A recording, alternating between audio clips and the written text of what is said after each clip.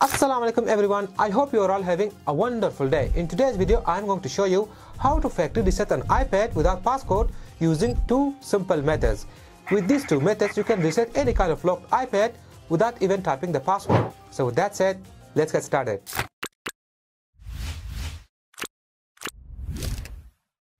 As you can see, here I have an iPad mini 6 which is disabled due to too many wrong password attempts and now this iPad is locked and this iPad can only be unlocked by resetting it. So let's start the resetting process with the first method. Our first method is using a software. For this method to work, you need a Windows or a Mac computer. And after that, you need a software called iMobie AnyFix. You can get it from the link given in the video description below.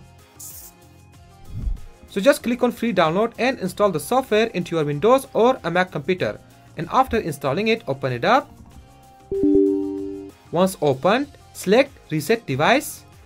Next, select Hard Reset and click on this green button. Click OK.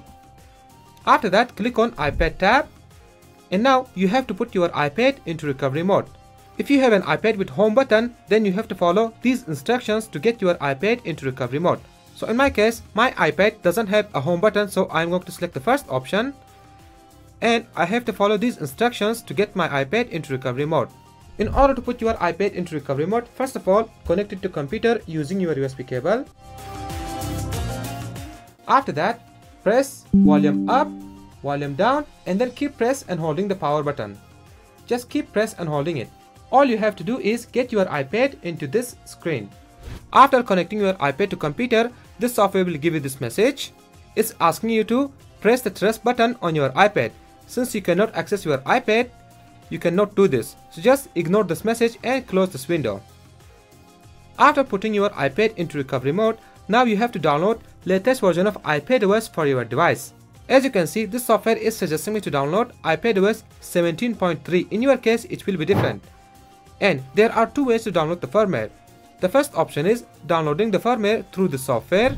just click on download and it will start downloading the firmware. This process will take time depending on your internet speed. And the second option is downloading the firmware through a web browser. If you want to download it through browser, just click on this first link. It will open up your default browser and it will start downloading the firmware. So I'm going to cancel it because I already have downloaded it. So I'm going to select it by clicking on the second link. Once the downloading process is completed, click on reset now and wait for the software to reset your iPad. This entire process takes barely 10 to 15 minutes, so be patient. While this process is taking place, would you please like this video and share it with your friends? For you, like and share is just a matter of clicks, but for me, it means a lot. So thank you so much if you do. Once the resetting process is completed, the software will give you this message. Close it and click on OK. And on the other hand, all you have to do is set up your iPad as if it's brand new. So just go through the setup process After going through those setup process, your iPad will be unlocked just like this. See? Alright, now let me show you the second method. Our second method is using forgot password option. For this method to work, there are three requirements. Number one, your iPad must be running on iPadOS 17 or above.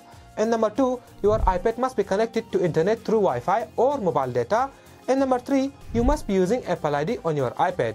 If you meet these three requirements, then this method will work. If not, then watch the first method. For first method, these things are not required. Now let me show you how this method works. Alright, first of all, input wrong password several times. Then you will see this forgot passcode option. Tap on it. Select start reset iPad and type your Apple ID password to sign out. Next, tap on erase iPad. After that, wait for your iPad to restart. Once your iPad is restarted, everything on your iPad will be erased including the lock screen passcode. Once your iPad is restarted, now all you have to do is set it up. After setting up your iPad, it will be unlocked just like this. See? That is how easy it is. So there you have it guys. That is how you can reset an iPad without password using these two methods. Please let me know which one of these options were helpful to you. Let me know your thoughts in the comment section below. I would love to hear them. And also, If this video was helpful to you by any means, then please give it a thumbs up and share it with your friends. Your one like and share means a world to me. So thank you so much if you do. And if you want more videos like this in the future, then please subscribe my channel and I will catch you on the next one. Stay blessed, stay safe. Bye.